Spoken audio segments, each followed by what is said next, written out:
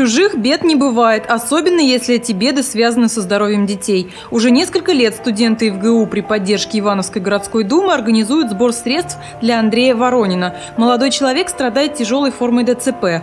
В актовом зале ИВГУ первый концерт этого года открыл приветственным словом председатель комитета по городскому хозяйству Ивановской гордумы Игорь Шипков. Затем в поддержку Андрея выступили сольные исполнители и творческие коллективы. Собранные на концерте деньги пойдут на лечение мальчика. Сам Андрей не смог приехать. Сейчас он проходит курс реабилитации после операции в седьмой горбольнице. После операции должны выписать, может, там больше недели лежим. Сказали еще дня два-три. Операция прошла удачно. Сказали, что выпишут.